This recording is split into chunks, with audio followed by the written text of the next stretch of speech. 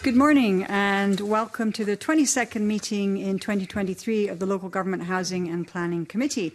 I remind all members and witnesses to ensure that their devices are on silent and all other notifications are turned off. The first item on our agenda today is to decide whether to take item four in private. Are members agreed? We're all agreed. Thank you.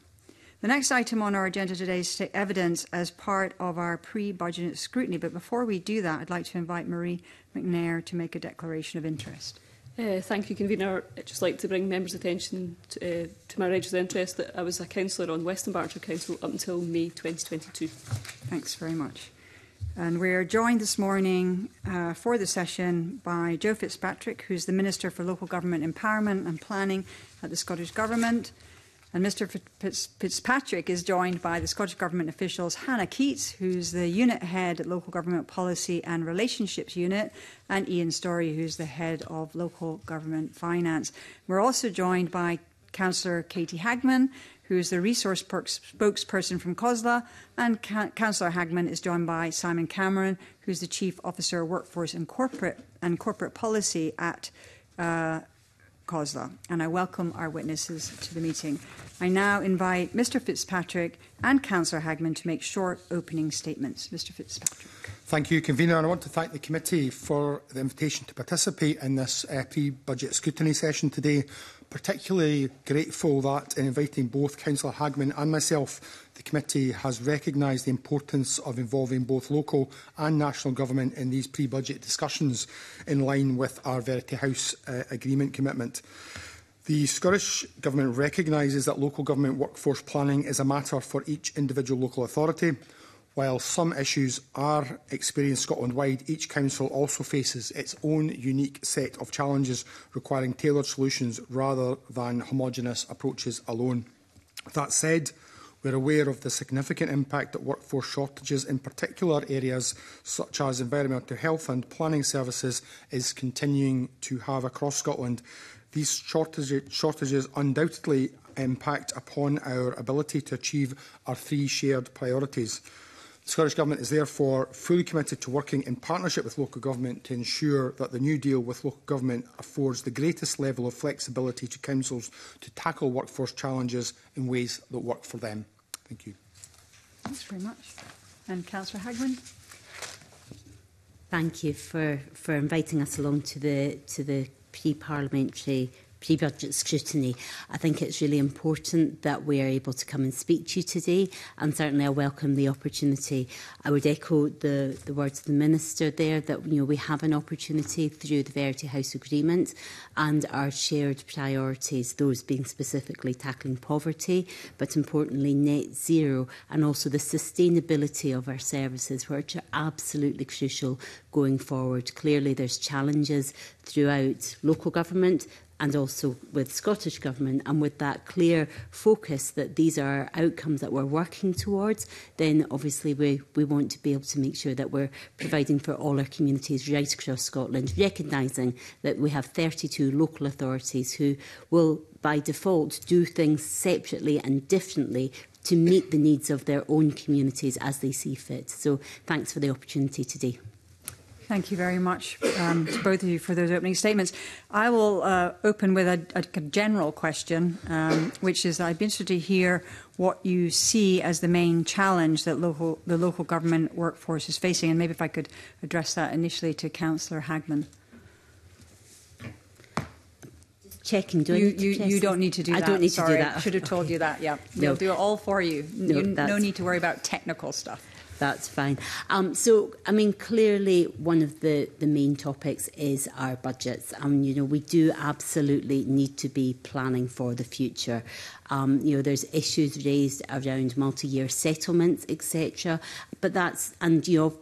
we do have an aspiration, absolutely, that we would want to see multi-year settlements. That, that has been a long-standing position of COSLA. That's not to say that our local governments aren't planning already. Clearly, we have to. You know, we've got key responsibilities, and we are making those those planning assumptions into the future. But with the certainty of multi-year plan, multi-year settlements, that makes that that journey an, an awful lot easier. We have issues around recruitment, which are well recognised. I think the the one of the most pertinent is around planners. Um, you know, we acknowledge that you know, looking, I think the data ahead over the next 10 years, we're expected to need around about 700 new planners coming into the system. Now, there's only one university in the whole of Scotland that offers an undergraduate degree in planning and the there was previously a master's, I believe, at Heriot Watt, but that is no longer in place. So there is nowhere in Scotland that planners can have that real deep dive, that expertise that having a master's degree offers. And you know that is a, a clear concern for local government. So that's just one aspect. We have, you know, issues around social work and we, we value all of our workforce. I think it's really important to stress that point that there's no one aspect of our workforce that stands alone and by its very nature local government is encompassing those whole raft of professionals. So that hopefully gives you a little bit of a flavour of where we're at.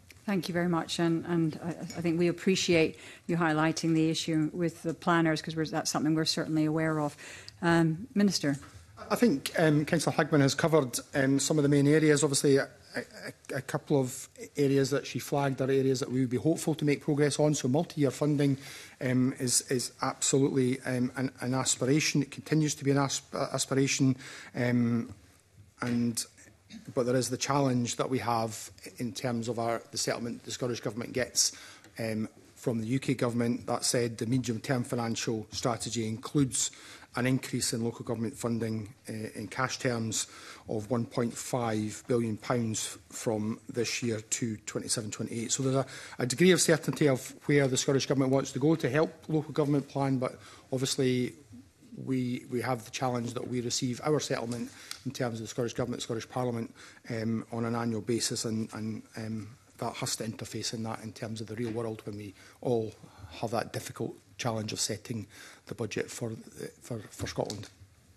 Thanks for that. Those responses.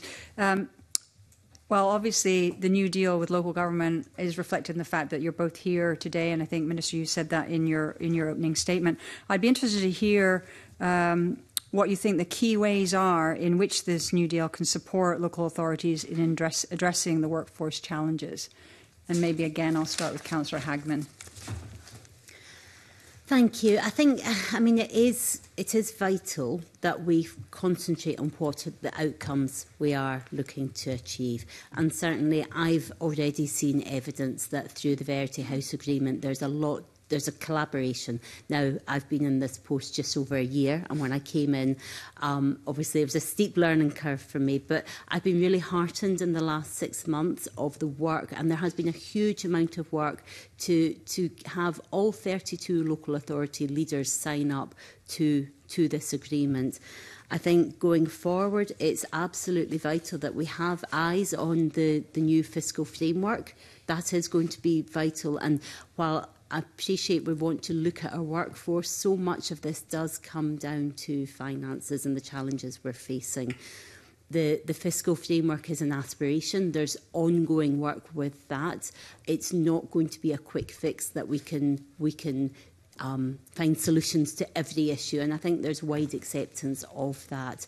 But together, as with that commitment which we have, and as I say, which is signed up cross-party to ensure that we find a better way of working, there's real opportunities. And I, I've seen that already just with the the cross working between my officials in local government and officials in Scottish government. So there's real opportunities. We need to not lose focus though on what those outcomes are. And just finally, clear, in the um, programme for government, there was a clear point on poverty being being an issue. Now, clearly, that's one of the strands of the Verity House Agreement, and I was really heartened to be invited into roundtable dialogue with the Deputy First Minister, but then also with a separate roundtable dialogue with the Cabinet Secretary for Education. So again, that's putting into practice what we've signed up because clearly we can sign all the pieces of paper we want but unless we follow through and we have that clear open dialogue between Scottish government and local government it's not going to go forward and there's a real there's a real desire to make this work and deliver as I say for for all of our communities thanks very much for that it's quite heartening to hear the the um the um, work that's already being taken um,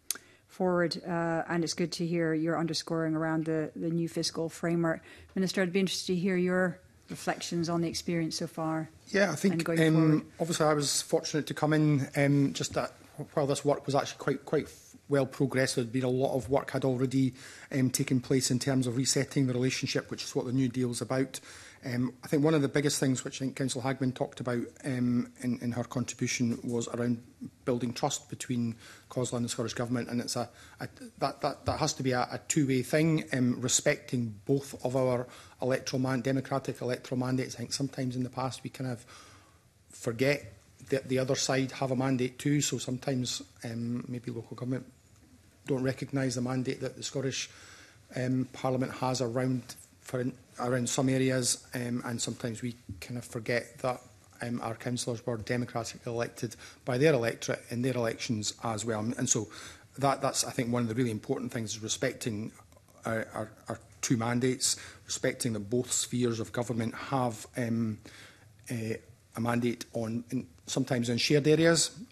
So there's areas where clearly the Scottish Government and local government have a mandate on and we need to build up trust in order to do what we all want to do, which is to deliver on the three shared priorities mm -hmm. for all of our um, citizens.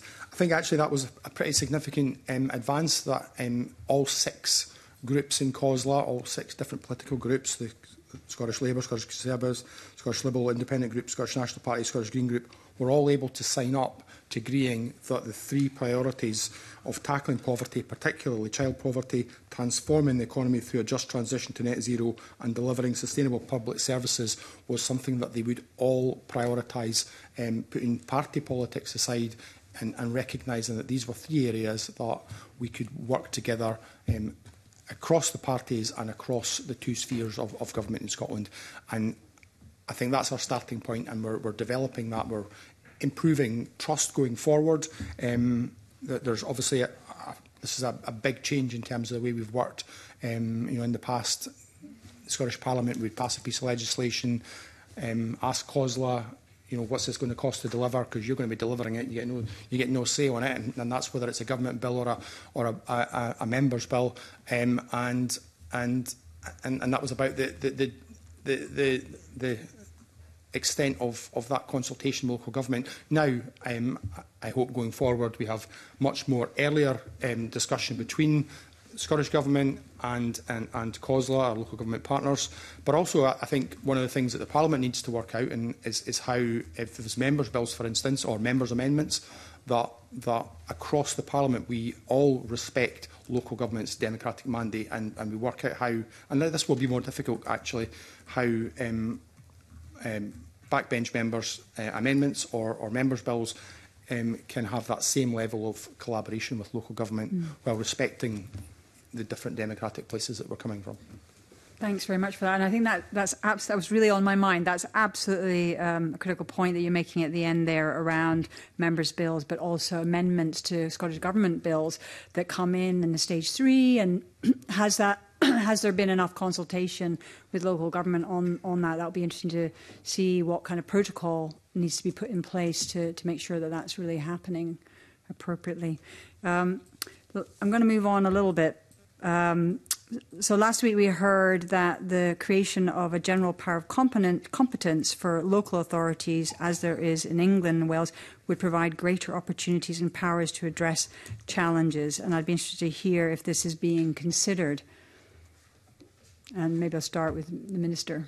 So, so there's um, a, a huge, work, huge amount of work ongoing in terms of developing um, the fiscal framework, looking at um, where we can um, relax previous uh, ring fencing and looking at what further um, powers um, can, can be extended to, to local government. But Ian, do you want to kind of maybe say a little bit about the, the work that's going on in the background? Because it's, it's really important. The fiscal framework is really critical to making sure that the, the new deal, Verta House is part of the new deal. It's a really important part. It's really good success and it's already changing the way we were working.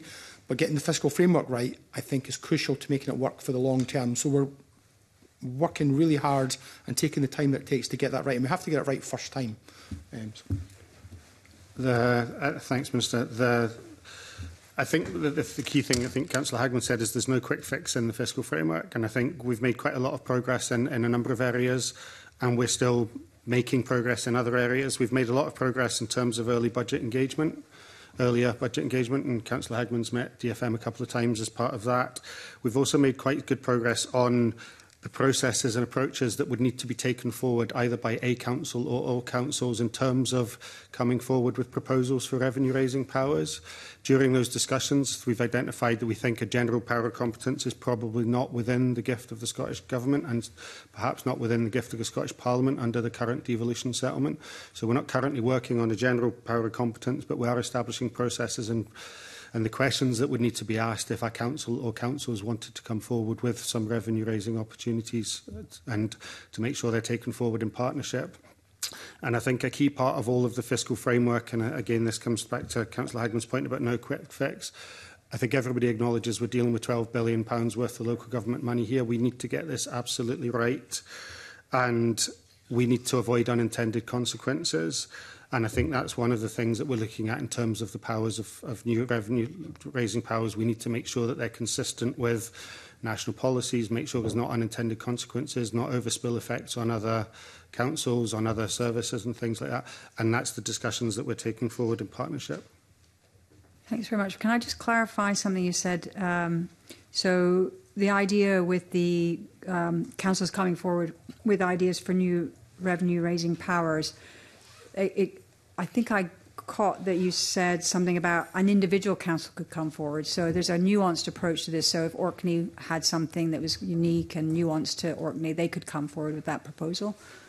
That, that's the discussions we're having at that's the moment. The we don't think that everything needs to come via COSLA. If an individual council has a proposal that works for them and doesn't work for any other councils, we don't really see why there should be any barriers to them exploring that.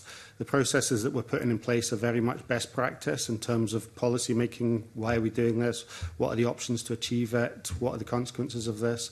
So it's very much motherhood and apple pie, but it's seeking to establish that, that, that yes, it can be deployed should Orkney, in that example, wish to do something that is unique to them. Okay. Thanks very much, Coswell. Yeah, Simon. Thank you very much, Chair. And I suppose just to build on what Ian's been saying and the rest, and, and where this conversation also lies, is very much in the, the local governance review. And obviously, local governance review remains a key commitment of Verity House.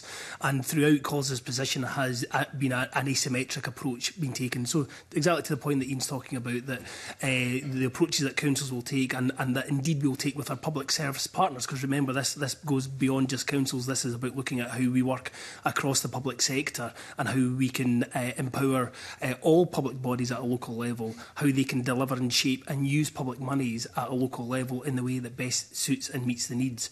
As Verity House has rightly done, setting out three kind of key priorities, those priorities cut across everything that we do as public service providers, uh, providers in our communities and the rest. So there are lens through which we should look at how we best operate. And I think the key kind of question we need to ask ourselves is not uh, the what we do, but how we do. That's what's fundamental at the heart of Verity. That's what strays into what the impact is for our workforces across Scotland, because clearly we've got very many different policies and strategies in place across very many different parts of the public sector. And we've got the opportunity to draw the threads together, to provide clarity to colleagues on the ground, and to enable people to be empowered in the tasks that they do and share in delivering on those outcomes, both nationally but fundamentally and critically at a local level as well. Okay, thanks very much. That's very helpful. I'm going to move on and bring in Willie Coffee. Thanks very much, Convener. Good morning, Minister, Councillor Hagman and, and colleagues. Um, I wonder if I could invite you to, to say a little bit more about how the, the fiscal framework will give the kind of flexibility that everyone's seeking and we're all talking about. Um, we heard from colleagues last week in the session that there's still a feeling of a lack of flexibility in how the local authorities apportion their funding to various duties um, Could I start by asking, is, does that mean that the dreaded ring fencing is at an end? And we're replacing that with this flexible arrangement that we'll collectively somehow agree to. So could I maybe start with Joe, please? So we are committed to, to reviewing all of the the, the ring fenced funds um, over time, um, but what, what we're saying is that going forward, there should only be ring fencing with agreement Clearly, part of the, the process is to develop um, an assurance framework, um, and which is which is a different way of doing stuff. So um, we need to work together on that. We need to get that right. I mean, right now there's about seven percent of of um, investment um, is formally ring fenced, but we know that on top of that there's a significant amount of money which local authorities spend on um, statutory services which obviously removes flexibilities, but within that there is flexibility as to how that money is, is, is, is spent. But the first stage of the work that we're doing is to review all existing funds which are transferred to local government outside of the general uh, revenue and general capital grants. Um, and we're looking at how, how much of that can be baselined for the 2024-25 budget And, and obviously the outcome of that work, which is ongoing now, it's kind of part of the work that we're doing in terms of developing the fiscal framework, will be seen in, in, in the budget and when, when, when that, that is published. But there's a, a lot of work already happened, a lot of work continuing to go. But we you know, this is not backward looking, so um, it's, it's about moving forward. The, the, there shouldn't be ring fencing unless it's agreed.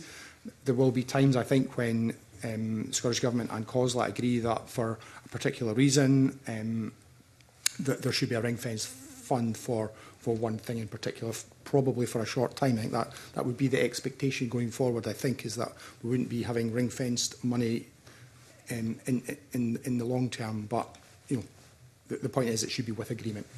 That's, that's, it's great to hear that after so many years in the Parliament, listening to that argument usually at this committee year on year about ring fences. So it's great to hear that this flexibility is there. C Councillor Hagman, what's your view of that, and particularly in the workforce planning area. It's the flexibility there to help the local authorities with the workforce planning issues that we face.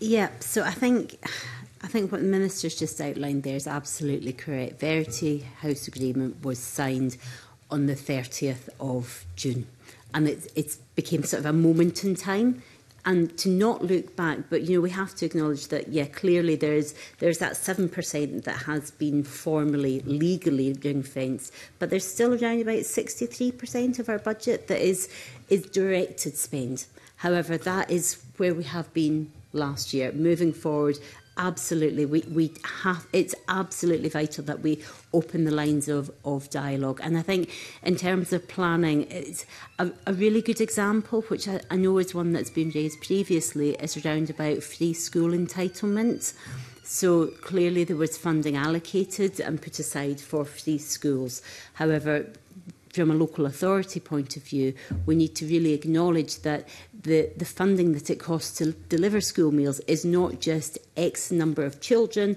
with X number of this is how much it costs, because there's clear implications for our infrastructure, for managing those expectations. And then across the workforce, we need to absolutely ensure that we've got enough you know, and it is very pertinent today, but our catering staff, our janitorial staff, those all feed into those those nuances and, and they're all different across 32 local authorities. You know, I, I'm aware of one one councillor who told me that in order to deliver free school meals with their current setup in one of their high schools, they would need to start at half past nine in the morning with school lunches and they might finish by about half past four.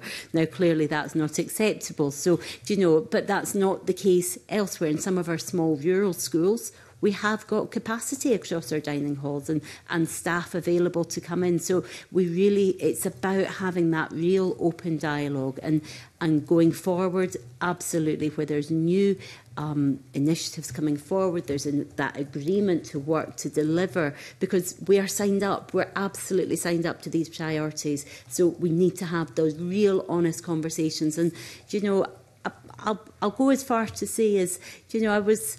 I was slightly taken aback that some of these conversations hadn't happened in the past. So let's not look back, but let's look forward to see, right, how can we do it differently? So that, again, it's it's genuinely quite exciting to be part of this. Thanks. Mm. That's very encouraging. I, I wonder if I could maybe the second part of my question is about cash, hard cash on the table. Um, Jewel, the finance circular issued the pre-budget shows a real terms increase of 1.3% and 4.3% over the past 10 years. You mentioned in your opening remarks, I think 1.5 billion extra in cash terms to 27, 28. However, our colleagues, particularly last week, continue to remind us that, that in their view, we still need about a billion pounds more to deliver the level of service that, that, that, that COSLA would expect and local authorities would expect to deliver for us on our behalf. So there's quite a, quite a gap there. I'm sure you realise. Could you address that issue and give us your views about where we are in that, that long-running debate about cash on the table? So, so the, there's no question that in spite of the real terms increases that were allocated to, local government and, and several other public services um, this year, that the pressures on our local authorities um, and other public services is unsurpassed. Uh, uh, you know, the levels of in-year inflation have not been experienced, in, certainly in, my, my memory, um, uh, maybe when I was very young was at these kind of levels of inflation. But um, the, the, I, so there was nothing could could plan for, for that. So that pressure is there, and you know our public services have done an amazing job to manage that in a way that protects the most um, important services. Um, but you know, let's not pretend it's it, it's all apple pie. Um, it, it's it, it's it's not. It's it, it's been really challenging this year in particular. You know, we're facing um, significant. Um, in-year increases because of inflation, because of high energy costs, higher than expected pay um, settlements. These, you know, these are this year's having to be allocated from this year's funds. So there's no question that there's a, a real challenge there, um, which is partly why we're looking at you know further flexibilities for local government. But I think one of the things we need to do is to look at how we can empower local government to to raise more of its own funds. So that's a, kind of wider discussion and when I've gone around the country speaking to leaders of councils, I've been encouraging them to think about the, the thing that works for them because it's absolutely clear there's some ideas coming through um, the Parliament just now, the visitor levy, um, second properties, uh, and these will work for some local authorities, but they won't work for others. And so I think we need to, to be open to the idea um, of, of listening. You know, obviously there's a working group within COSLA, which uh, Councillor Hagman um, co-chairs, um, but then there's you know, there's 32 local authorities and there might be other ideas out there. And it might be that a local authority comes up with an idea which they think is bespoke to them, but then actually another local authority says, well, actually, that's really useful. That will be useful for us too. So I think we need to be open to that um, if we want to have the kind of public services that um, I think we all do aspire to for um, our, our public services. Thanks very much, Joe. Councillor Hagman, could I have, maybe I invite you to offer your perspective on the cash on the table issue and yeah. is it enough how much more do we need? How do we get there? Just to... I think I'll start by saying it's never enough. it's never enough. Um, local government is in an incredible it's an incredible privilege because we're right in the heart of our communities. We're, I've described it before. It feels like sometimes we're literally on that front line, holding our communities, trying desperately to provide and stop people falling through the cracks, but also try and encourage people to invest and support enterprise and business and, and all these issues. It, it's a myriad of, of different points, and not one of them are working in silo. You know, we work collectively together. Um, so in terms of cash, no, absolutely not. There's never enough. Um, but our, our workforce are on the front line of that. And you know, again, nobody's denying that you know Scottish government and local government aren't facing huge challenges, but we desperately need to work invest in their workload. There, our our frontline workers are key in order to deliver for our communities. But they're also key in preventative work. You know, often, you know, things do go wrong and, you know, we, we see levels of child poverty. We see the gaps between those that have and those do not. We see that, you know, getting ever increasingly difficult. We're seeing more strains on our health service, for example, and local government has a real opportunity to sort of dive in at an earlier stage to prevent many of the, the really hard hitting issues and chronic situations that are developing across the community. So, you know, we need to invest in our workforce. We we need to ensure that our workforce remains healthy and that's you know physically, mentally, and that they're supported. And we want to also keep them in local government. If they want to, you know, come into local government, there's real opportunities to develop careers in local government, and we want our workforce to feel valued as well. So there's there's a huge body of work to be done, and again, I, I can't reiterate it enough that element of 32 local authorities, what works in one doesn't always work across. So we need to have that, you know, almost back to that sort of power of competence of, of delivering and back to local government. So we will argue for that. But no, we, I think having the open dialogue at the start, and that's where we're at. So we can get very carried away if this is where we want to get to, or we can look back and see where we've been. We're here right now, and there's this is why it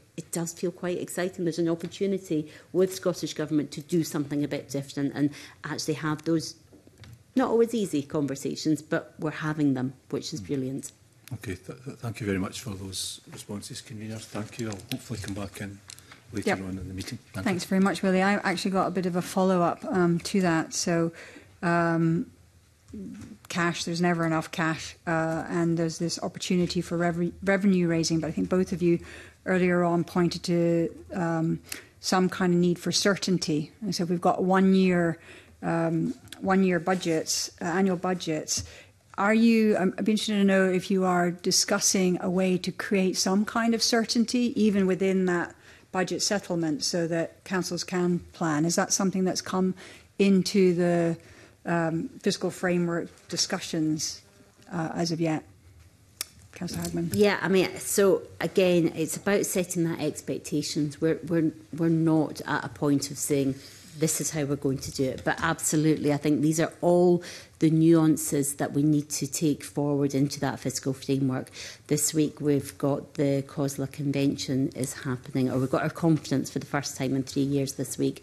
And at convention, we're taking a piece on the fiscal framework because, again, it's it's great that we're having this discussion here today, but we need to have this discussion with all of our councils and all of our councillors as well, so that there is a real understanding. And, and certainly, yeah, I think absolutely going forward that has to be part of the dialogue and form part of the framework that we're, we're developing. Thanks. Thanks very much for that. Do you want to add anything? Or? Just, just that I mentioned earlier that the you know the medium term financial strategy did include um, increases in local government funding to give a, an indication, but it is just an indication. Um, the lack of certainty around um, funding from the UK government means that the final decision ultimately will be um, in, when the Scottish government is passed. But there's a, as Councillor Hagman said, there's been a lot more earlier um, collaboration with uh, COSLA, and Councillor Hagman's already had uh, meetings with Deputy First Minister, which is much earlier than would happen have happened in previous years. So that, that engagement is, is definitely front-loaded um, uh, this year.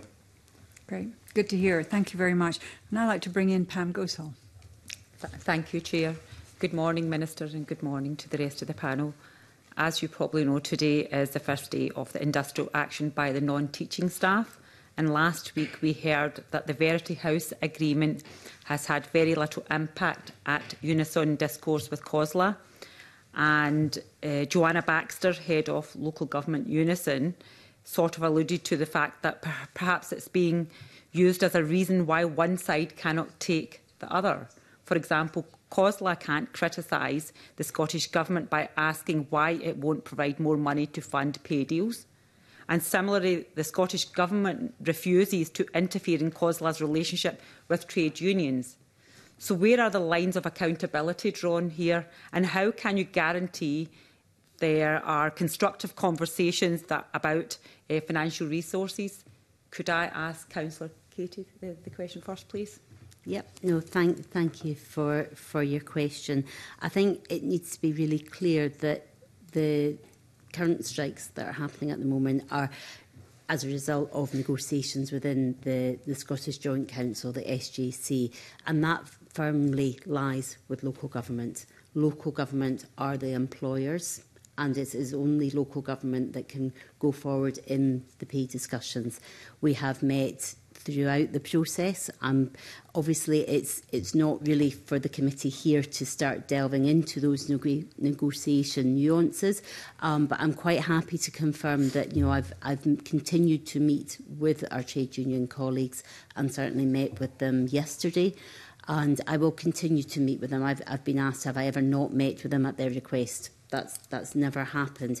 I think, to be clear, And it, again, it is a point that I've made previously that local government finance absolutely our workforce is is crucial. I've I've stressed that point already, but we also have to have sustainability of all our services and that's a that's a point that's been raised by COSLA leaders. Clearly I've got a spokesperson role and I get my mandate from the COSLA leaders on this one and they've been very clear that sustainability is key to our services and absolutely pay will form part of that and certainly this year the way that the negotiations have worked out we we put forward a very strong offer at the start of the year Clearly, that wasn't acceptable. We have worked collaboratively with Scottish Government to look at how that offer can be increased, and there has been additional funding put into the settlement from reprofiled funding. But ultimately, this is a pay offer worth nearly half a billion pounds. It is a strong offer. I don't particularly think it's appropriate to go into the nuances as all the details, but I mean, I'm, I'm happy to answer any questions on that as well. But I think there has to be a firm line. This is local government's role to negotiate. The responsibility lies with local government. It's not, with all due respect to the Minister, it's not for Scottish Government to dictate because there has to be that level of respect. Otherwise, if we don't have that level of respect, we're, we, we're going to undo the potential of real positivity before we've even got out out the starting blocks on this. So, yeah, I hope that helps. Chair, could I come back on that, please? Mm -hmm.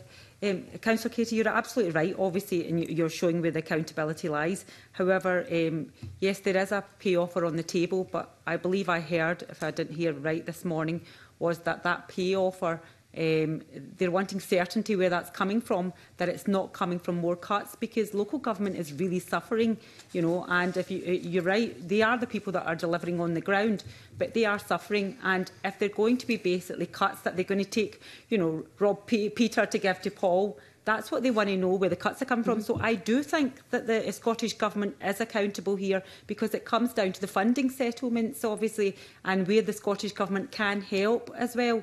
Because um, they directly, uh, yes, you, like you said, they can't step in, but it actually starts at them. So basically, they can help out there. And that's where clarity is needed that these cuts, um, if they are cuts, where are they coming from? So, what's your view on that? So again, without going into the nuances of details, I certainly heard Mr Ferguson this morning on GMS making that claim. I was also invited onto GMS and spoke just after 8 o'clock, which I confirmed at that point that letters have gone to our trade union colleagues on the 22nd of September and the 24th, so that was Friday night, and on Sunday again. It was very clear in that letter, and I, I I gave a direct quote on, on GMS this morning. I'm happy to give the direct quote on that letter which said we are able to provide the reassurance that you have requested that additional resources have been identified on the basis that there is no detriment to either jobs or services because we understand and we recognise that there is that concern and we have repeatedly and consistently given that reassurance. I'm, I'm slightly concerned that Mr Ferguson is said in a public statement that we haven't given those concerns because those letters have gone through and we've we those were joint letters there was it would appear that there was again information that there was conflicting letters from Scottish Government and COSLA. Again, you know, for the record today, I think it's really important to say that actually there's been a joint approach going forward and letters that have gone out have been jointly agreed between Scottish Government and local government. So again, I'm, I'm not sure where Mr Ferguson is getting that information from. Thank you for clarifying. Thanks. Would the Minister like to Yeah, yeah thank, thanks very much for the opportunity. I mean, obviously it is important to, uh, at the offset, recognise that negotiations, local government pay negotiations are rightly between COSLA as the representative of the employers, local government and the trade unions representing the workforce that, that said, the, the suggestion that you, in your original question, that the Scottish Government has um, chosen to stand back, um, I think, I, I don't know if your exact words, but effectively to stand back from this is, is, is not factually correct. Going right, right back to the start, the Scottish Government provided a further 155 million in the 2023-2024 um, allocation to support meaningful um, pay rise for local government workers. So that was in addition to when we, we saw that inflation was rising, that was additional money after the budgets had been set. In addition to that, um, we provided reassurance that we'll support councils with the £94 million increased recurring costs for, for future years. That was a real concern for local authority when they made the, the, the, not the last offer, the offer before. They were really concerned, not necessarily about that money, but what they do for future years. And so unusually, and because of the Verte House the collab and the collaboration around that, um, Deputy First Minister um, was content to provide that assurance going forward, which um, I think um, group leaders ac across the local authorities um, welcomed, and I think it was unanimous, as I understand, in, in terms of, of then making that further offer. And when that offer was uh, rejected, um, there was a huge collaborative effort between COSLA and the Scottish Government to look at how additional funds could be um, identified without impacting on um, uh, jobs and services. And, and you know, there was a huge effort, Scottish Government officials, COSLA officials and local government finance officials working really hard to, to look at how they could identify um, reprofile money, um, capital to um, revenue um, opportunities to make sure that we could reprioritise £80 million pounds from existing spend and identify emerging underspends to enable um, that last offer that, that COSLA has made. And it, it was obviously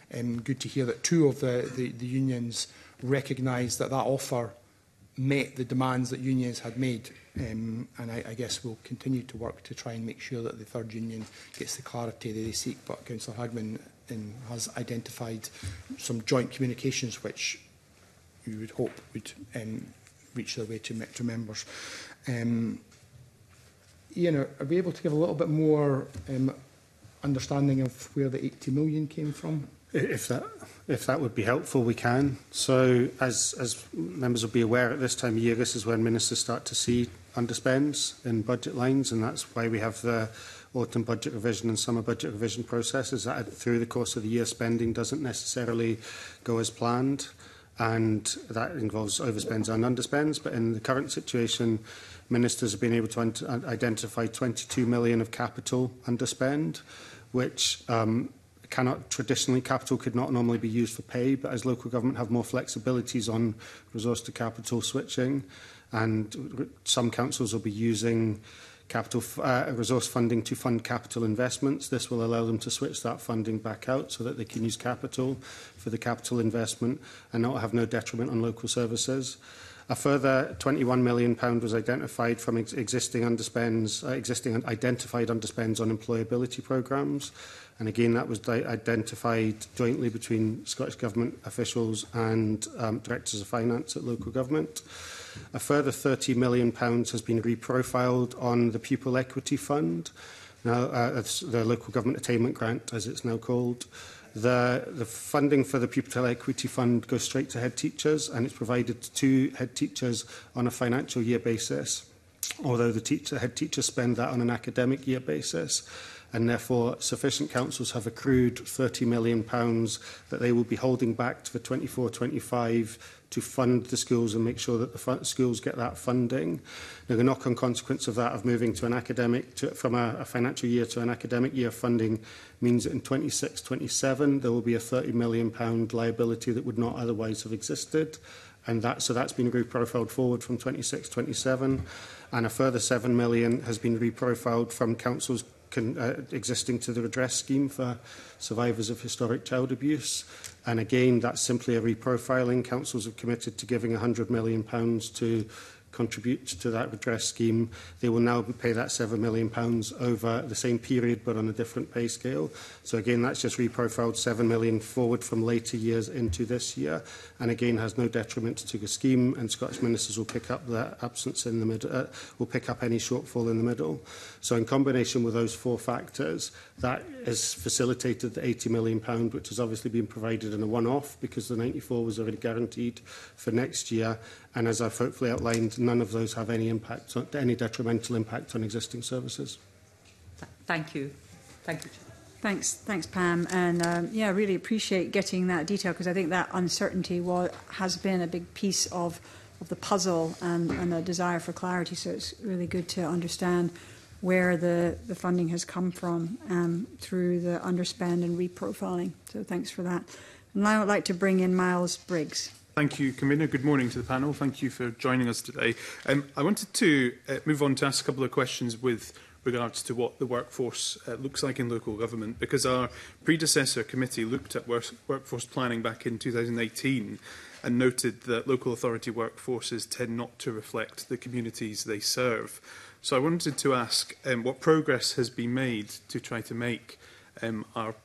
workforce more representative and specifically around senior positions within local government um, and any work both COSLA or Scottish Government have been doing on this. Um, so I'll maybe bring yourself and Councillor Hackman to start. Thank you. Um, so clearly we have various legal duties across local authorities to report back on, on basically what what our workforce looks like. And certainly as, as an elected member that sits on my scrutiny committee, I, I receive those reports annually and certainly members will scrutinise those reports because absolutely we want to ensure that our workforce is reflective. Clearly apprenticeships is, is one avenue that that local authorities will be using. And we have some fantastic local employability partnerships that work in conjunction with our local authorities as well to ensure that we can actually provide that certainty of employment for, for our local communities. But I think there's a huge amount of work that is done in terms of data gathering and that benchmarking. And certainly this absolutely is an ongoing an ongoing issue. I think just from the last equalities report that I've received in my own in my own council, I think it, I noted that we were we were hitting the minimum targets, and I think my question to council officers is. That's great that we're hitting the minimum, but let's let's be more aspirational than just hit the bare minimum because actually we want to be leading. We want to be a leading employer, and clearly across Scotland, local authority, the workforce is absolutely going forward. But I don't know if Simon has an awful lot more detail possibly than I do. I, thank you very much, uh, Councillor Hagman. And I suppose I would just reflect that there's a, a range, a broad range of not only local activity but national activity uh, targeting diversity across not only, um, for example, the, the teaching workforce, the education workforce, but also all other parts of our workforce as well one of the, the key challenges that there has long been with uh, diversity and uh, understanding what the makeup of our workforce is, is the fact that when it comes to our public sector equality duties, the responsibility on employers is only to ask the question. There is no legal duty on anybody, any one of us, uh, to, to disclose the information.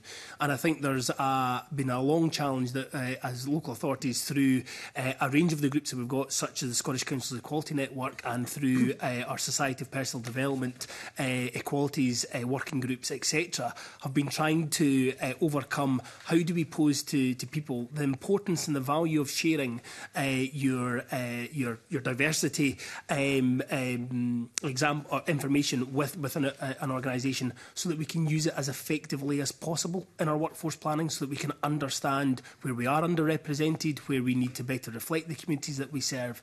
And I think there's a challenge there to um, assure people, not convince them, but assure people that the data will be used appropriately and accordingly, that it will look different across Scotland, and that when we do have that data, it will positively impact their work experience that they've got with us as employers.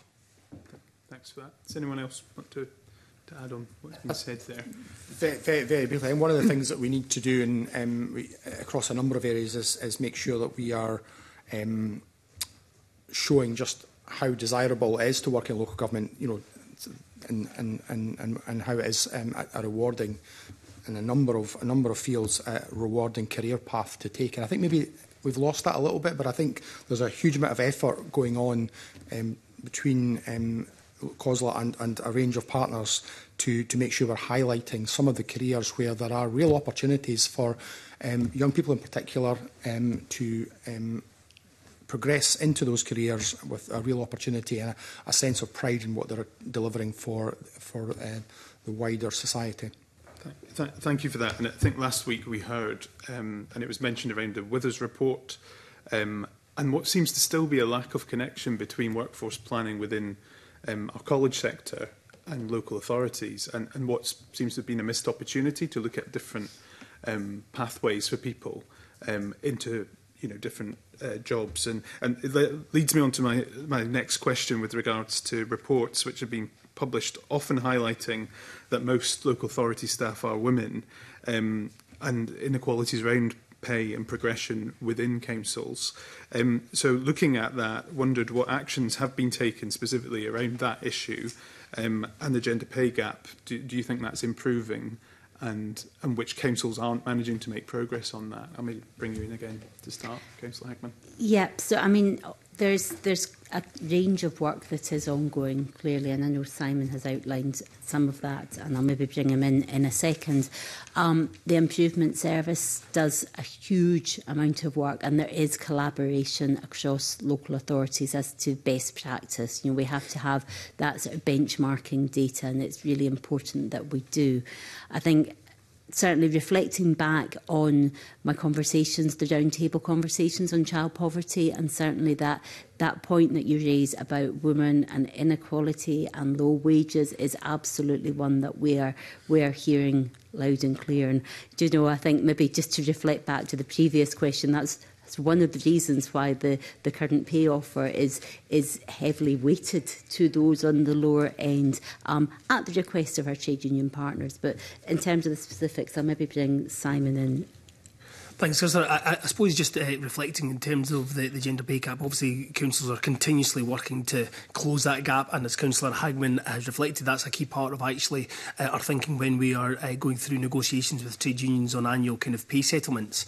I think uh, clearly in terms of actually how do we attract and how do we offer a broader range of opportunities, actually offering a, a broad range of flexible working opportunities is a key part of what we can do for our communities and attract people to uh, the careers within Scottish local government. So yet again, I think there's there's something that we still all collectively need to do in terms of that challenge about the value of all of the types of roles that we offer, the diversity of the, the different types of contracts that you can have within local government, the opportunity that that provides individuals with, uh, and and the more that we can do to demonstrate that there is value uh, from all of our colleagues uh, who work behind the scenes, who, who do catering, cleaning, janitorial roles within schools schools uh, and with many other facilities that actually help uh, children and young people help our communities on a day-to-day -day basis is a kind of key part so that we don't continue to focus on only certain professions within the workforce. That's perhaps one of the things that's to all of our detriment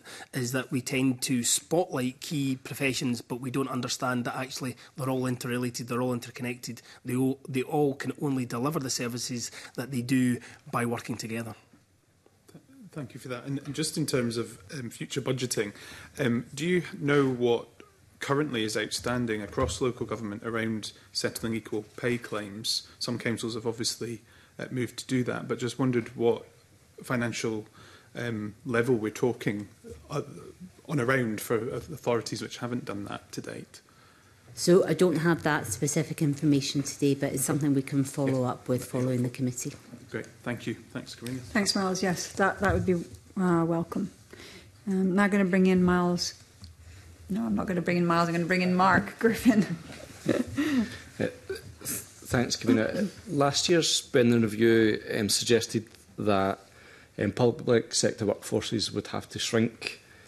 um, including local authority workforces, in order to remain sustainable. Uh, Minister, can I ask if that is still the, the government's view? I, I think it still remains the government's view that we need to um, continue to make sure that with the limited resources we have across public service, we're applying them um, to, to achieve the, the best possible um, results for, for citizens. And, and we need to continue to look at ways of doing things more efficiently, more effectively, um, Uh, going forward. So that's part of the flexibilities that, in terms of for, for local government, to making sure that they can do things differently if appropriate. Um, so I, I guess that's that's where that sits. But, but nonetheless, we have managed to provide additional funds to local government in, in recent years. Uh, uh, and similarly, Councillor Hagman, with the government's suggestion that the, the workforce will have to reduce to remain sustainable, Are you able to set out whether that is possible for local government to reduce um, workforce levels and still provide the, the level of service that you are or are expected to? Yes, so across local across local government our, our key services they are transforming you know we're having to adapt we're having to look at different ways to to do things. Um, with my resources hat on, I do sit with a digital hat on. So by that very nature, there may be services that provided that may be provided in a different way in the future. However, it's really clear that in order to have that sort of proactive to to sort of downstream funding is so is so important. So our workforce will have to adapt, but there may be areas where we're looking to expand our workforce, and it has to be done on a on a local authority basis. And that's where again. I, I've, I've repeatedly come back to the Verity House agreement, but that is where it's so crucial to have those really honest dialogues. You know, there, there's areas in Scotland where there's depopulation and services have to be delivered in a different manner. There's other areas which are seeing a rise in population and therefore the, the demands on those services are really stretched. So we have to be adaptable, we have to be flight of foot. Where there is opportunity with shared services, that's something that we were we are actively taking part of and certainly with my digital hat on, the, the shared platforms and the shared delivery is something that you know I'm working through, and I, I sit again with government um, on those on those discussions because clearly we, we need to we need to do things in a different manner but ultimately ensuring our workforce is protected is a is a key element and we do acknowledge that we have an aging workforce and we we've we've got real issues in terms of recruitment as well. So, you know, I, I can't say a, a definitive yes, this would be okay or no, that would not, because it is so nuanced across the plane. But what I would say is local government is standing ready to adapt and, and where possible we, we will, and um, ensuring that we're still delivering that real baseline for our communities. Okay, and as service delivery um, changes, how are COSLA and um, local authorities assessing the impact on its workforce, particularly the impact that has on women and minority groups within its work workforce to make sure that it's not um, impacting negatively on them more than on other groups. And similarly, what assessment is carried out on the impact on um, women and minority groups and communities that rely on the services that are going to be um, delivered in a different way. Yes, so I mean, clearly, you know, we have our, our legal duties that we need to respond to, which I think was outlined by by Simon. Um, we'll continue to do that. Obviously, we're we're working within our community, so we, you know, as a local councillor, you're hearing direct from that. But clearly, we need to have the data too, and that's where we need to work in partnership with colleagues right across, and I think the point was raised earlier, it's not just about local government, it's about all our public services to ensure that we've got that consistency going right through. Um, certainly in, in my role as resources spokesperson, I've, I've reached out to the to the Women's Budgeting Panel and looking at that wide range of, of issues. But in terms of any other specific, I'll maybe turn to Simon to see if there's any other points that I've missed in, in my summary there. I think, uh, Councillor Hagman, you, you make the key, the key point. Obviously, we've got legal duties, so all the time the decisions that councils are making are informed by equality and human rights impact assessment that they will do at a local level, which is understanding uh, what mitigating actions do they need to take or, or how do they eliminate any impact on our communities and on our workforce as well. And, uh, and I suppose that's the,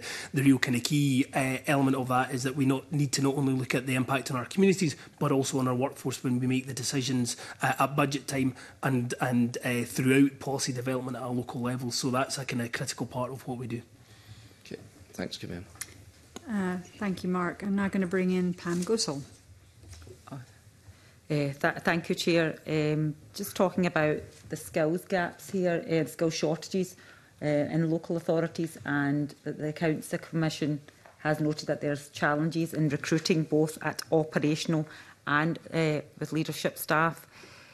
When kind of talking about um, skill shortages, um, last week one of the panels spoke about how higher levels of economic inactivity play into the recruitment challenges and councils are coming up with different innovative ways to engage uh, with the people out there for the workforce. But, but of course, um, education skills and employment are also the responsibility for the Scottish Government. So I wanted to ask, how are the Scottish Government supporting this drive?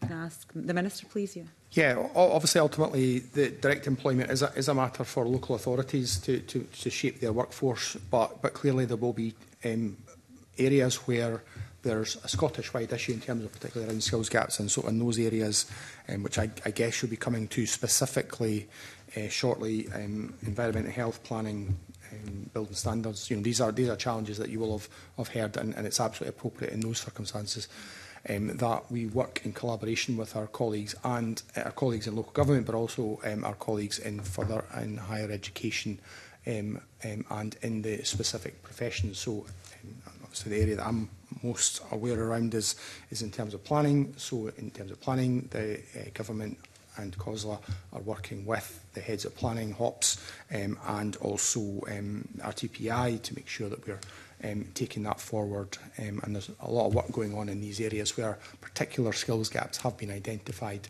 Um, so I think the, you know the first thing you need to do is to recognise there is a challenge that, and then work together to meet those challenges. And, and that is something that we are absolutely doing in collaboration with our local government uh, partners and, and others. Ada, go back to the follow-up, please. Yep. Sure. Um, uh, thank you, um, Minister, for your response there. Um, just talking about earlier on, I noted that you spoke about, obviously, the future here, that it's very important to have early consultation with um, uh, local government in relation to new Scottish Government bills, legislation coming forward and Members' Bill. Obviously, we talk about that today, and we know that 700 planners are needed in the next five years, and Councillor Katie spoke about the challenges around that as well, with only one, I think, university having that um, uh, course offered there. So just talking about, we've got new legislations that have uh, practically come out now here nearly every week, uh, you know, uh, like the short-term lets and other legislations we spoke about many times in this committee. But how do you see, um, Minister, um, a question for yourself, that um, obviously discussions are happening now for the future. But what about current legislations like this that we know there's shortages and we know there's a huge demand on planning and building standards? How are you, how are you looking to tackle the demands that are coming up now then?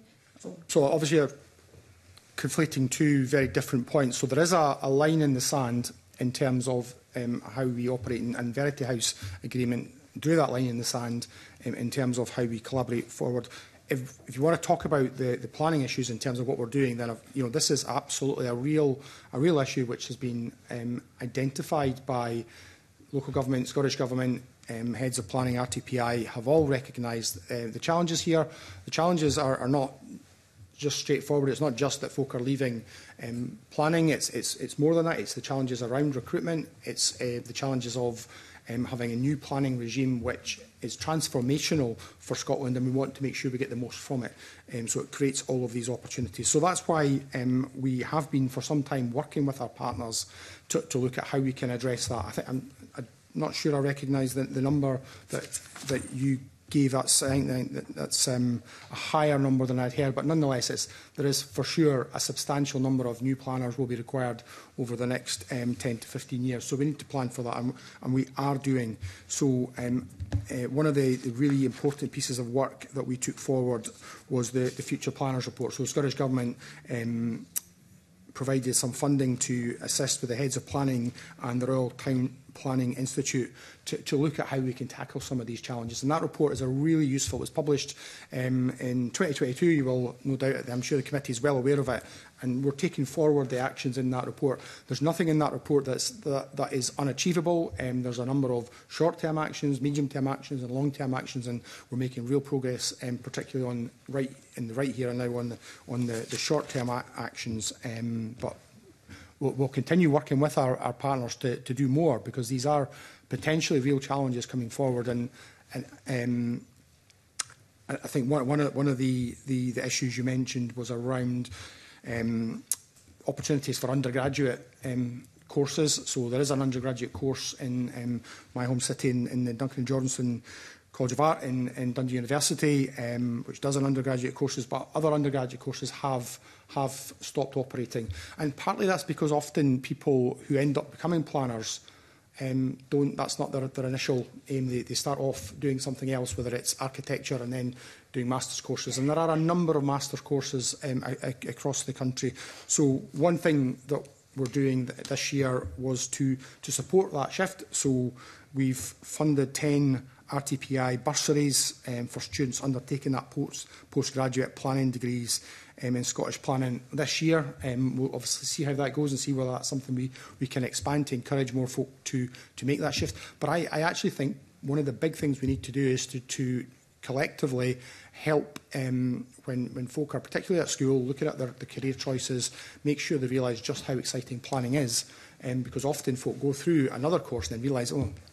it's actually a planner I want to be um, and then they have to do a, a further course. Um, and so I've, I've certainly been engaging with the, the young planners who are really enthusiastic group of folk um, and really keen to um, help make sure that the, the wider um, e, potential employment um, pool understands exactly what planning does and how exciting it is, particularly in the context of NTF4 and the transition to net zero. This is, uh, you know, um, something that I, I think if, if we can get that message across, then, then more colleges and universities will consider doing the undergraduate course. I'm not sure if I can name them just now, but I, I'm aware of at least one other university considering uh, uh, starting a, an undergraduate course, which would be good if that happens. But we need to, to do more to encourage um, what more we can do. So one of the things we're keen to look at is whether there's an opportunity for work-based work training so that, that, that um, young folk can do their undergraduate course, while working for, say, a local authority, and a number of local authorities are keen on, on helping um, with, with that process. But you know, we need to work out and make sure it's going to work for the universities, but also for the young people and um, our local authorities. One of the challenges we've got is that NTF 4 does provide um, a huge number of opportunities, so there's an increased um, uh, draw from the private sector as well that we have to. So we do need to make sure that we're increasing that pool, but we're absolutely working together on that um, with not just with local government, but with also with the, uh, the other partners. No, thank you, Minister. It's great to hear that you've got some great work happening in the future, which I'll look forward to see. But what are we going to do about the, the challenges in recruitment right this minute? Because the fact that we've got so many legislations going in, and members' bills as well, going through um, How are we going to help basically local government at this moment, the challenges? What kind of talks are you having there? And what, how can we help with so, that? With so new... I'm, I'm, not sure. I, again, I think we're kind of, are we talking about planning? Or are we talking about wider local no, planning government? planning because um, so, uh, that's fine. Led, yeah. good,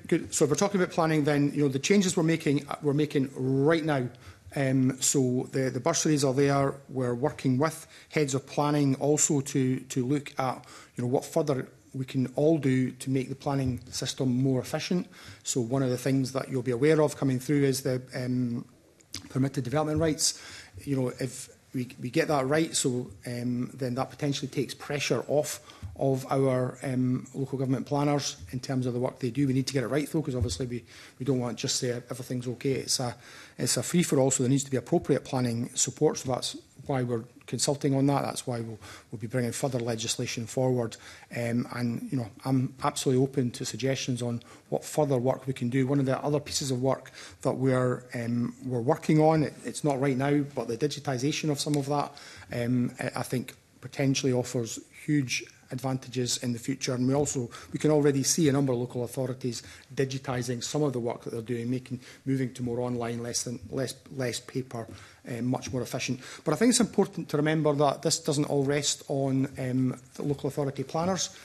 Huge amount of weight goes on to local authority planners, and sometimes um, a, a fair amount of unfair criticism um, when things don't go the way. Um, some applicants would like. There's a responsibility for applicants as well to make sure that when they submit an application that it is submitted with the required um, information, which then helps the planning authority make its decision um, as speedily as po possible. Clearly, sometimes folk are not going to like the decisions that come out of, of a planning process, and that's um, why there is uh, appeals. But um, from speaking to developers, one of the things that they're keen is that it's, it's the time. So if you're going to be told no, then let, let me know it's no sooner. And I think part of, part of that is on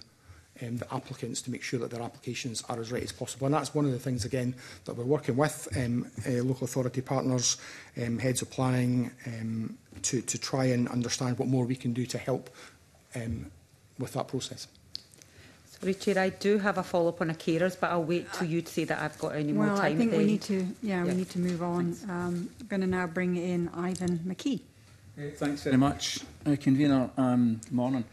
Um, I just wanted to pick up on um, one point, circling back on the general power of competence that, uh, that Ian mentioned. Um, and I suppose I'm just thinking, looking at that and thinking, well, if this is something that UK government has power to do, and they've done that for local authorities in England, um, but we're in this strange position where the Scottish Government doesn't have the authority to give that power to local authorities.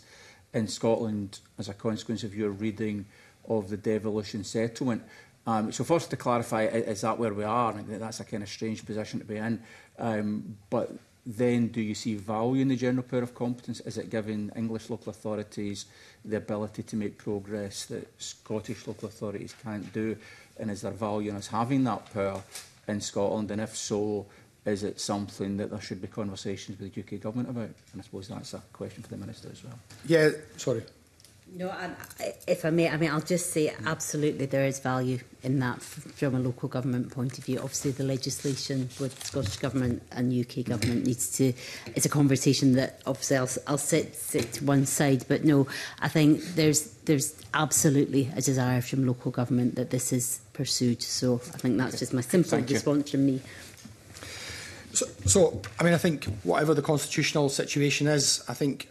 we should step back and what is it we're trying to achieve and if we can achieve that without changing um, and going down what would almost certainly be a, a challenging um, constitutional battle line, then we should try and do that because local authorities are wanting these additional powers sooner. So that, that that's why my message to leaders across Scotland has been, you know, if you've got ideas, then let's let's let's test them out and let's see what. And if the challenge is is that this can't be resolved without that power, then I think we need to look at it. But I don't think I've seen anything where that would be the case. I don't know if Ian's aware of anything where that would be the case. If there is, we need to look at it. But if we're looking at whether you know there's one magic power that makes everything okay, then looking down south, that wouldn't appear to be the answer. You know, we've got 26 councils in, in some of England's most deprived areas at risk of effective bankruptcy. Now we've, we've seen um, Birmingham, we've seen Slough, Croydon, Woking. Um, so clearly there's something not right there. Um, and, and, you know, if there's lessons to be learned, then, then great. But I'm, I'm, I'm not sure there's anyone, you know, sweeping power that has um, the, the, the ability to, to, to um, resolve some of these challenges.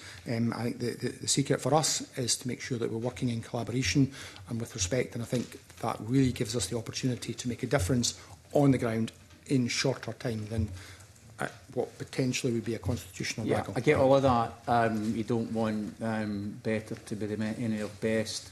If there are things that we can do, we should absolutely go and do them, of course, on a specific yeah. basis. Um, and of course, there are problems with local authorities in England that can be due to a whole range of reasons, but I don't think it's necessarily, it might not necessarily be due to that power. But I suppose the question still stands in principle, does the Scottish Government everything else being equal, think that there's value in having that power? Because it certainly seems from what Councillor Hagman's saying that local government would be very happy to have that power alongside everything else that they're looking for. I, I mean, I, I'm happy to come in. Yes, that is absolutely something that local government is looking for. But in the interim, at this point. I think it was referenced previously. One of the points that Cosla was very keen, and certainly I was very keen, is that actually we co-chair the working group um, initially there was a, a bit of a discussion whether that was going to be a co-chaired model and we agreed that yes this is a, a a working group of equals. So there is that ability to bring forward within that forum. Um, obviously, it sits with with ministers and and uh, ministers. We've got Tom Arthur, Patrick Harvey, and Joe Fitzpatrick, who who all sit on there. So you know, there's a real opportunity right now And as we say, if there's op if there's a desire to ex to explore new and innovative ways yeah. of local government revenue raising, we do have a vehicle to to do that. Okay, that's fine. Right, um, so that the person was going to raise was um, around about staffing numbers, and first of all, um, you'll have heard the evidence we've taken, and there was a bit of kind of um, turn and fro around what the numbers were, because the Scottish Government numbers as published would indicate that there'd been um, quite reasonable increases in local authority staffing levels. Um, and the retort to that, of course, was that, yeah, but there was some extra workload there that would require an extra staff and also um, there been some reclassifications there around about alloys and so on.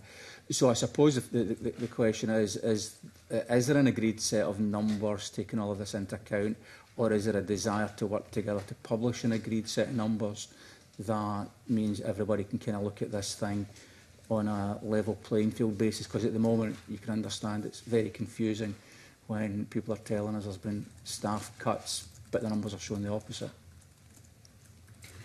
I mean, I can come in as, as a starter on that one. There's, there's not an agreed number as such. And I think that would be an almost impossible task just to reflect the, the nuances and, and the differences across local authorities. Clearly, there are some areas where we, you know, we've got plenty of staff and we're delivering. There's there is shortages of staff. Obviously, we've, we've touched upon planning, but you know we have shortages of social workers and quantity surveyors, environmental health officers, um, specific teaching staff as well. So, you know, we, we have to be clever on this one.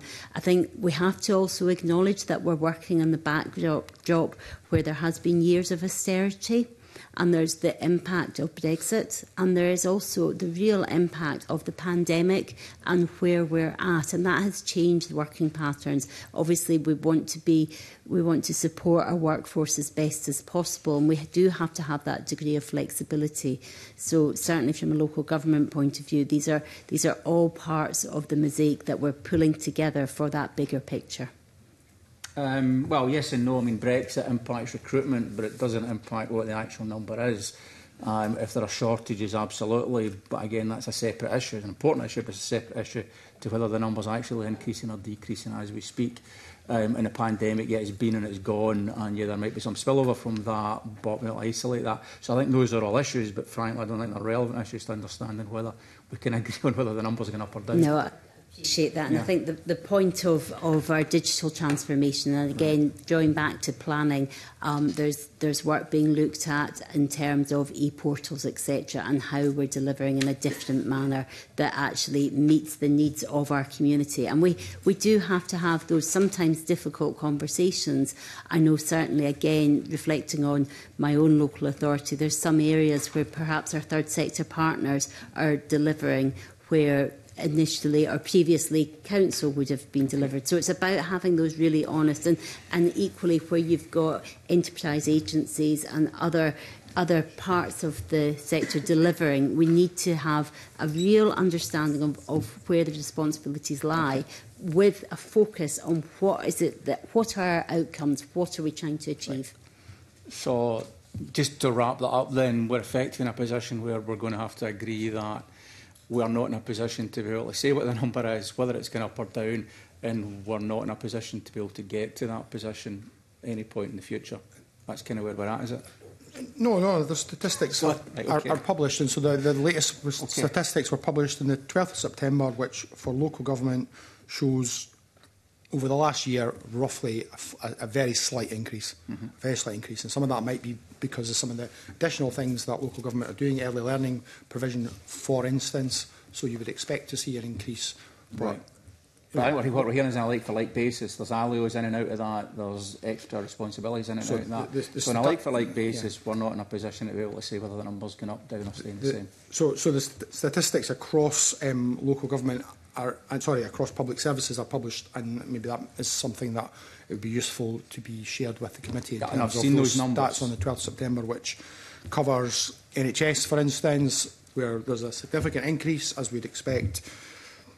Devolved civil service, where there's a slight decrease. Um, the figure for local government is a, a very slight increase, but okay. know, pretty flat. Um, so, so government's position is so. that local authority number is increasing. So when people say there's been cuts and there's less people in local authorities, that's not correct.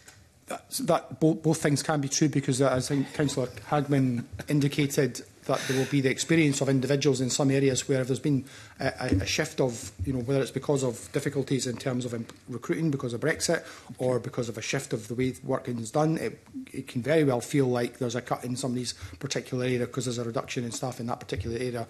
Um, the figures that are published clearly are, are overall yeah. figures, and, and I, I think that's appropriate. But it,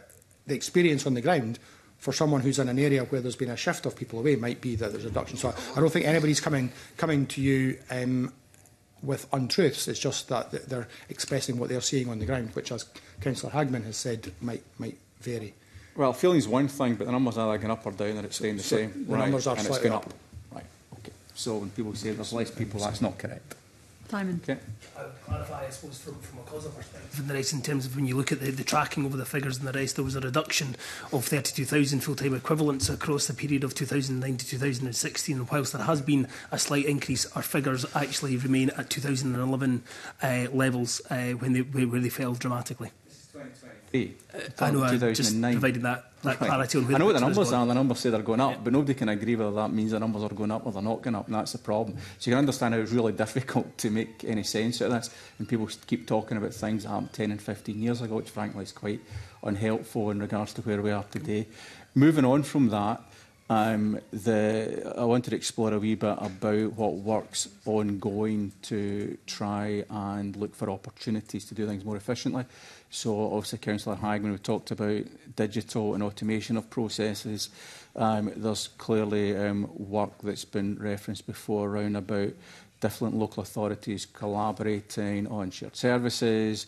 Um, there will be other areas where third sector perhaps is, is, is more capable than local government of picking up specific uh, activities, etc, etc, etc. So really just wanted to um, draw out some specific examples you can maybe share where there's been good practice there, quantify how much it's saved compared to the counterfactual, and then what work is ongoing to, uh, to drive more improvements in that regard and what impact you could see that having on help to tackle the uh, recruitment challenges?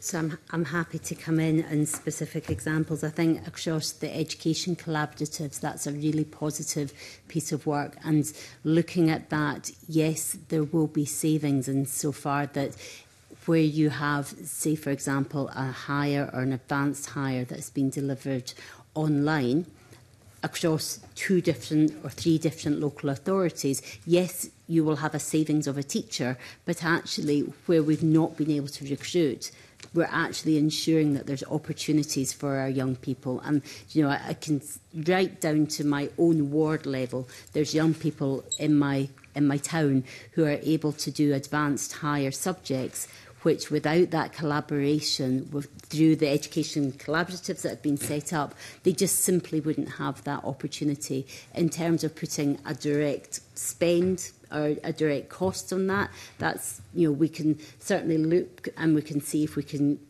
provide you with, with some level of that detail. Um, but it's not just about that finite cost. And obviously, we have to be really mindful of all our budgets, But we have to be able to provide for our young people and for our communities and wider shared services. The, the Education Collaborative is one. Obviously, we've got shared services across planning within local authorities and building control, etc. That's another example that's already in situ. We've also got, which was referenced again at one of the roundtable discussions, where you've got social work working within schools to ensure that actually we're looking at that outcome. Now, there may may be savings if you're using the same facilities, etc., and you're sharing services across departments as well as across authorities. But it is it has to be taken in that wider context. But in terms of the specific details, we can certainly take a note and, and try and come back with with the finite costs on that. Um, that's thank for that. I suppose, given this is probably the number one challenge you face in terms of amount of resources, you've already said there can never be too much money, um, being able to do things more efficiently, clearly, and we all recognise that there's plenty of scope for that because the technologies is and the scope for cooperation as you've identified between local authorities and the wider public sector and elsewhere. We've not even talked about states or any of the scope that there exists there as well. I suppose I'm slightly concerned that you're not able to quantify any of that, given it's the biggest challenge you've got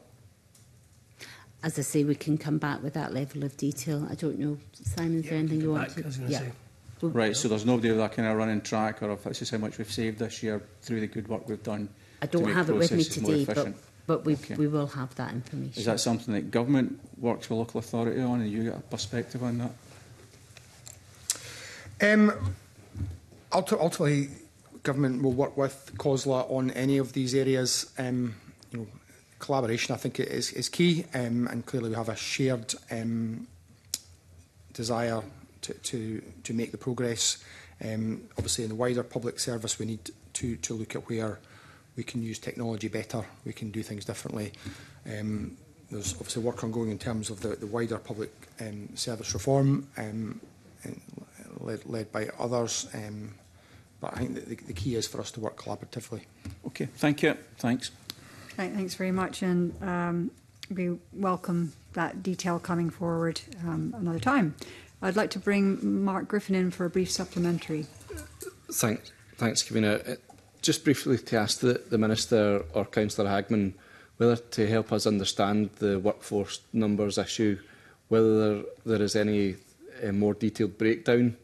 um, by department on headcount at local authority level to help us understand perhaps movements between the departments and get a better understanding of you know, workforce issues within local government. I'll, I'll defer to Simon on this one, yeah. There are regular um, figures produced by every individual council with regards to their own kind of uh, workforce. So they've got uh, um, monthly workforce or, or quarterly workforce um, monitoring uh, figures that are produced on their on their websites. There is actively work ongoing with colleagues within the improvement service to look at a data dashboard. Obviously, we used a data dashboard during uh, the COVID uh, pandemic, and so that is work that is ongoing at the moment that can help hopefully get us to a position where whereby councils can use that platform and we can have more real-time data. I suppose one of the significant challenges, and I understand the points being made about the data that we've got, obviously it only gives you a, a moment in time, uh, so trying to find the data uh, that is live and can, and, and can um, clearly give us a picture on what is happening on the ground and the rest is something that we're actively working on uh, across local government at the moment. Okay. Thank you. Thanks very much, and that sounds like a very constructive piece of work that you're you're working on with the improvement service. I'd like to bring in Willie Coffey. Thanks. Again, Convener, I, wonder if I could just raise a couple of questions uh, um, with you, one on absence rates, if I can, probably with Katie, and maybe on the ageing workforce issue that was covered last week. To um, Councillor Hagman, we were hearing last week that absence rates, particularly in the non-teaching staff area that we've been talking about earlier, have had significantly increased in the, the, the recent data set that we have. Is there any work going on within COSLA to understand what's going on there? What the reasons for that are? Is it long COVID issues? Is it general health issues? Is it stress related? How do you gather and collect that information? And probably more importantly, what are you able to do about it? I mean, if you can't help us with the detail of that now, I'd certainly appreciate, I'm sure the committee would, any follow up information you may have to help us understand that.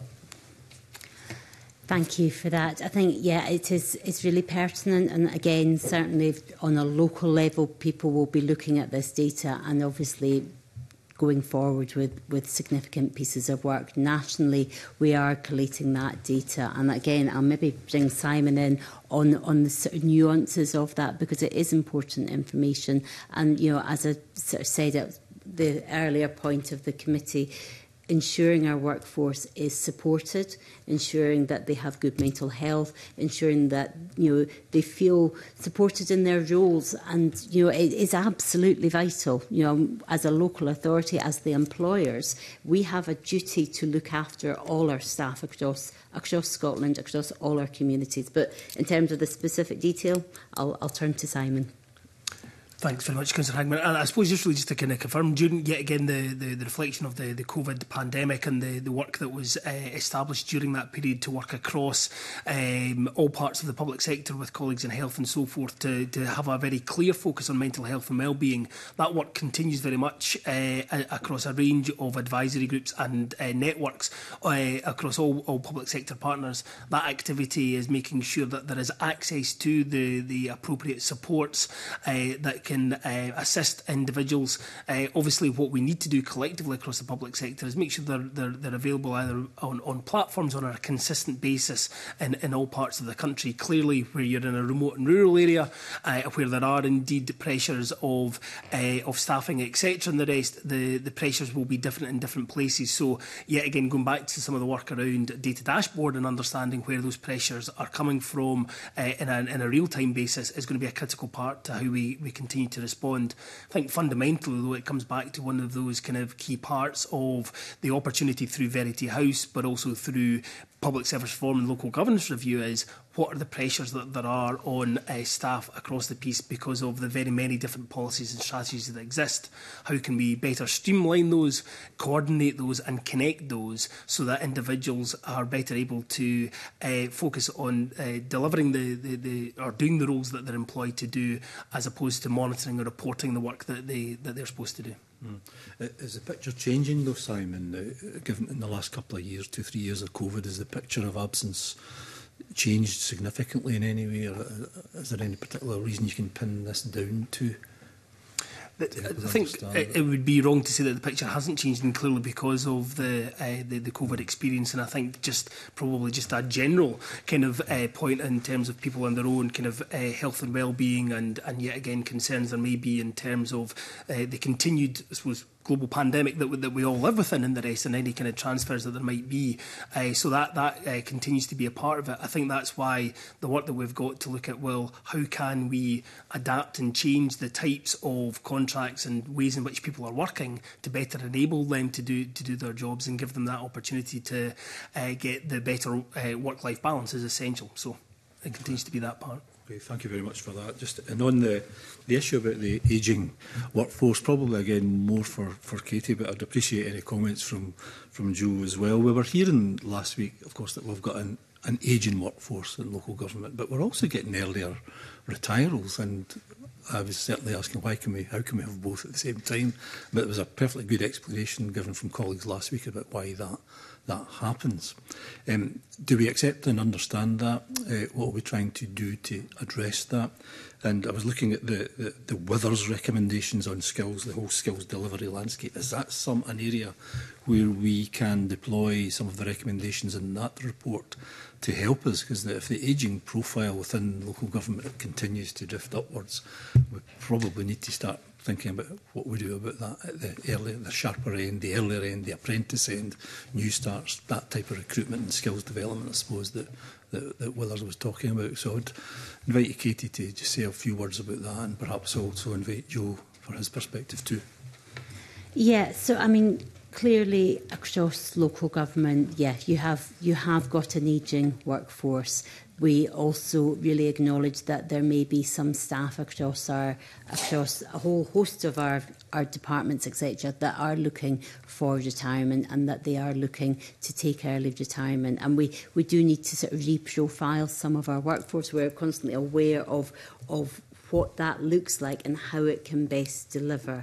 We, we're also very aware that where redeployment is perhaps an opportunity that we need to support our workforce through that and redeployment may not be the option that everybody wants to to go for. There, there may be a, a real desire to say, actually, I would like, and there should always be that opportunity. So you know, there's a real emphasis to ensure that all levels of our staff are supported. Clearly, you know, I think it was touched upon, and I think I mentioned it previously about our local employability partnerships.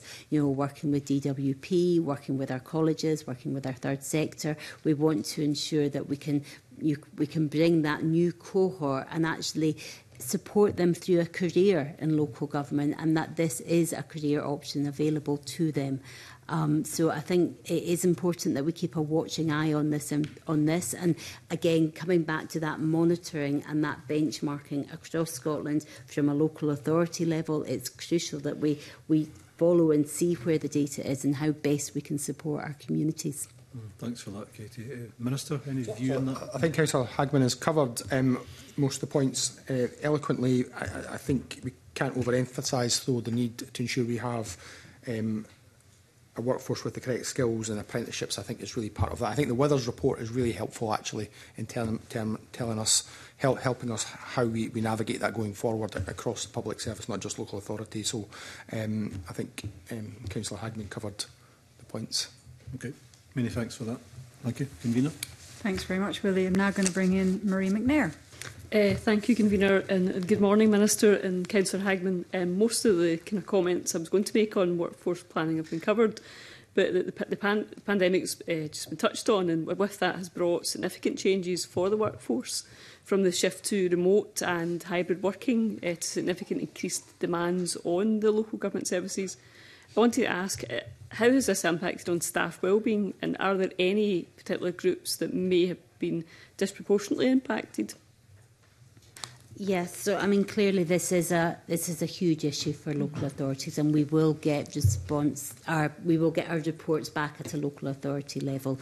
We have to be mindful that there is an impact mm-hmm. absolutely on our staff, and we have to be able to support where there is the options for remote and hybrid working.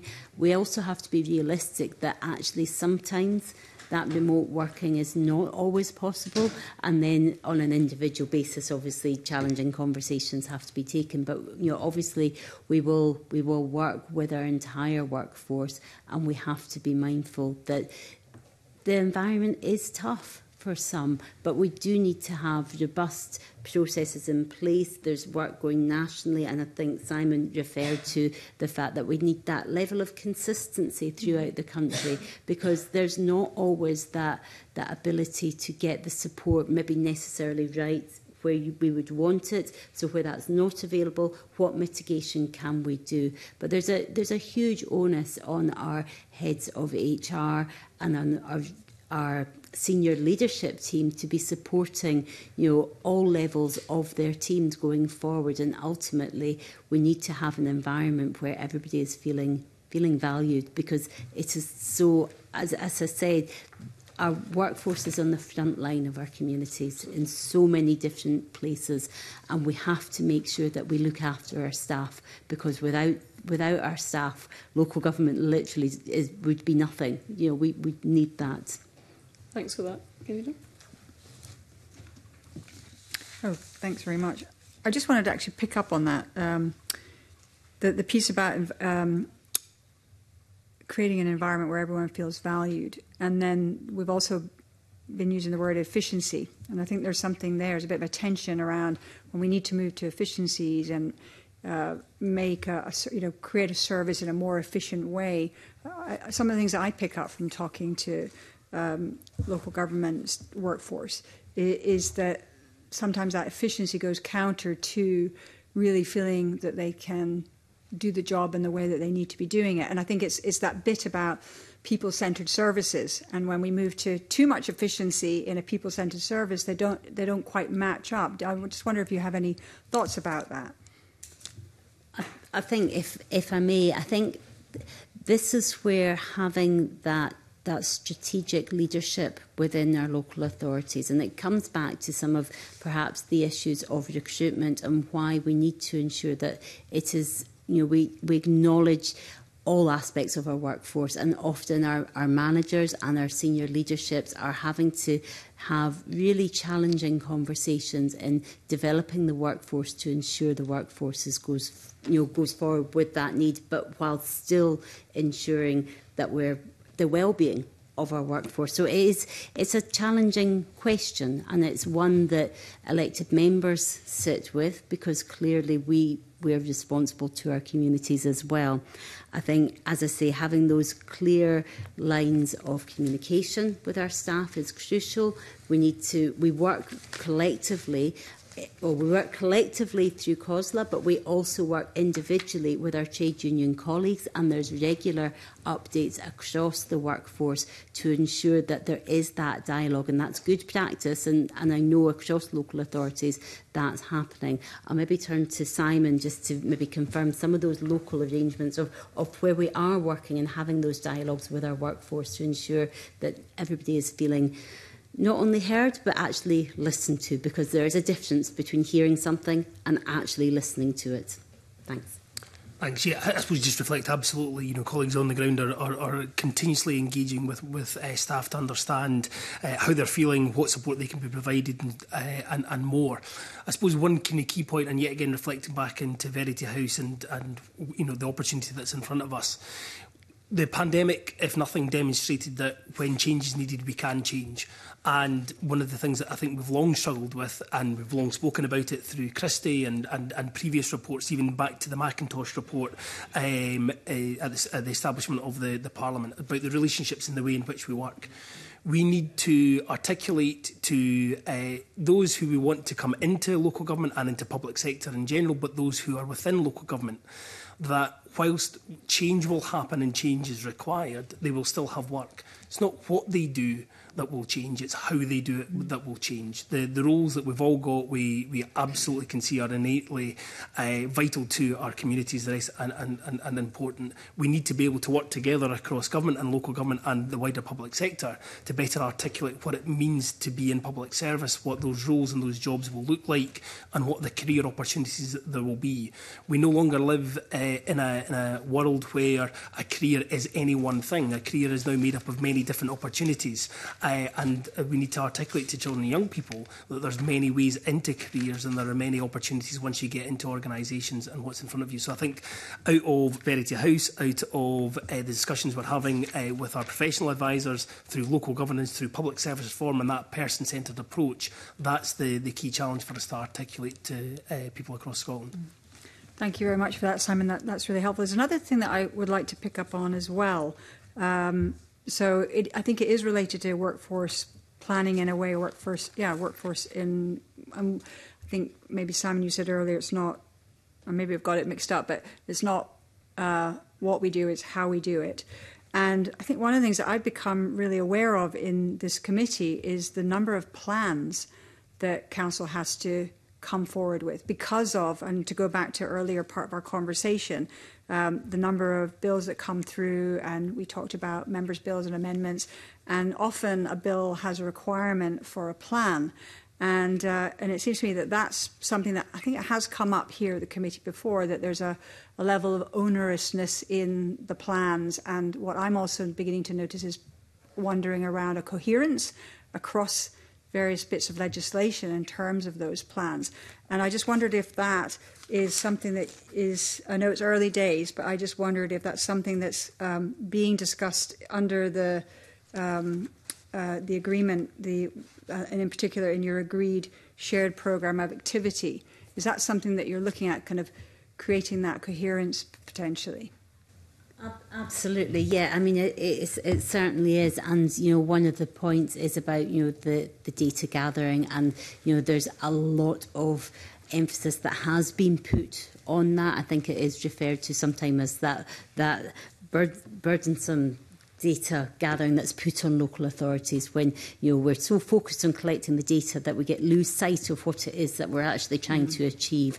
Um, so streamlining that and actually working with Scottish Government again, focusing on those outcomes. But a lot of this does come down to trust, and I think Joe referred to this in his opening remarks. It's about recognizing that local government has a key responsibility. You know, I I'm sitting here with with my mandate, my democratic mandate that is as equal to anybody's democratic mandate. You know, there's not levels of democratic mandates. We are all equal. And I think there's a real opportunity to recognise that and work in collaboration to actually have that level of respect both ways between mm. local government and Scottish government. Yep. I, th I think it's a, a really good question. Um, when we speak to um, local government finance colleagues, then they will often um, highlight the fact that while there's all this ring fencing, there's all this other bureaucracy that they have to, which is challenging, which takes resource. Um, and as Councillor Hagman said, we need to make sure that that reporting is supporting us in reaching to the outcome. So it's really helpful that Verity House, we've, we've got some agreed outcomes and actually shifting, I think um, Simon mentioned, Um, Christie, you know, Christie was, how many years ago was that? It was a long time ago, I think.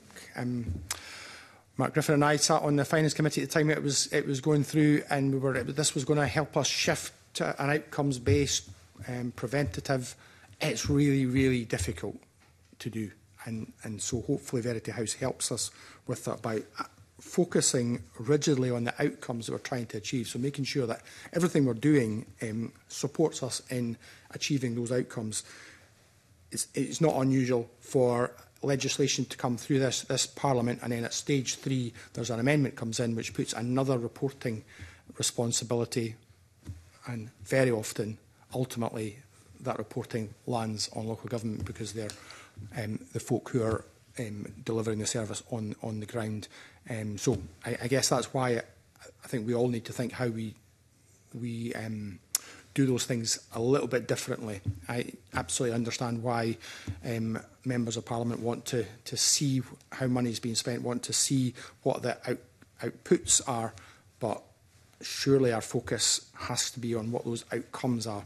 So in terms of education, how are we making you know young folk, giving them the, the, the better opportunities for the future um, in terms of poverty, driving poverty down, um, particularly for, for young people. These are, are um, objectives that um, are agreed as priorities across the political um, and public uh, service spectrum. So I think we need to, to work harder to focus on those outcomes. We have been trying to do it for a number of years. Hopefully Verity House helps us in that path. Yeah, that, that's good to hear. And I think I think what, something that's coming up for me there is that it, it, I think we would welcome to you know hear what you where you get to in that conversation. And I think at some point, certainly the Parliament needs to be involved in that. If there's amendments coming from members, um, there needs to be a greater understanding of, of, as you say, those impacts. So maybe there's something there's at some point a, a moment where Parliament does need to get involved as well, um, and to have that education, that understanding. of impact on, on amendments. I think, if, if I may, I mean, certainly COSLA leaders meet regularly, um, and certainly where there are amendments and opportunities to feed in, then leaders will take take that opportunity. We also have the opportunity to have that early dialogue um, with Scottish Government and certainly through our thematic boards at COSLA, we will look and have dialogue and discussions. They won't necessarily be making decisions because that will be for the 32 local authority leaders to decide going forward. But I think absolutely there is an opportunity that certainly Verity House allows local government to, to have that early dialogue and that continued dialogue as well. It's good to know that those mechanisms are in place, those communication um, forums. Yeah. Well, I think that brings us to the end of our um, session this morning, and I really appreciate you coming today. I think it's been very useful, and I think I've actually just sitting here feeling um, a great sense of delight, actually, to have both the Scottish Government and COSLA are represented in this conversation. And that's that fruition of the new deal with local government. And it's, it's good to hear that it's being very positive and constructive so far. Uh, so thank you so much for joining us. We now turn to agenda item three, which is consideration of the valuation proposals procedure Scotland Amendment Regulations 2023. There's no requirement for the committee to make any recommendations on negative instruments. Do members have any comments on the instrument? No, no comment. Um, is the committee agreed that we do not wish to make any recommendations in relation to the instrument? We're agreed. Thank you. We agreed at the last part, at the, at the, start of the meeting, to take the next item in private. So, as that was the last public item on our agenda for today, I now close the public part of the meeting.